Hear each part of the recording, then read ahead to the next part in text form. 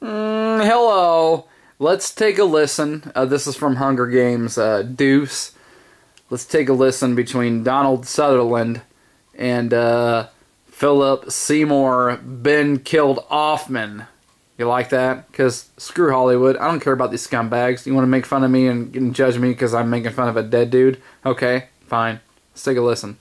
Shut down the black markets, take away what little they have, then double the amount of floggings and executions, put them on TV, broadcast them live. So fear. More fear. It won't work. Fear does not work as long as they have hope, and Katniss Everdeen is giving them hope. She See that? That's some real truth right there.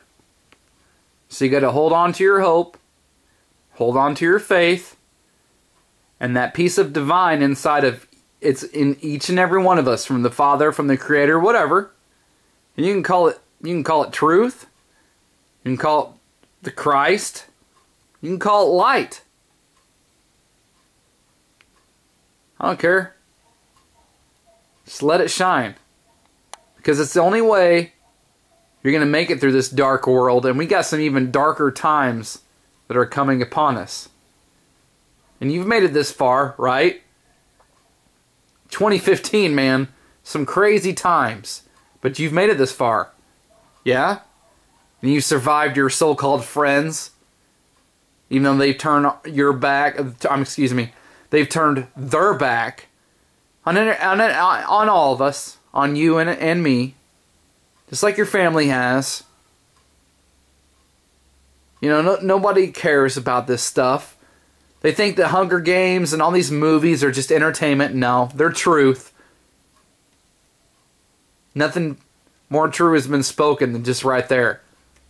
Fear doesn't work without hope. They want you to lose hope, and they want you to, to lose faith, and they want you to succumb to them, to their fear. Well, you survived your so called friends, like I just said, your family. Hey, and maybe even yourself.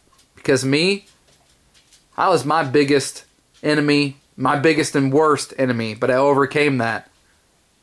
So, regardless what you've overcome, friends, family, yourself, that's the hardest part.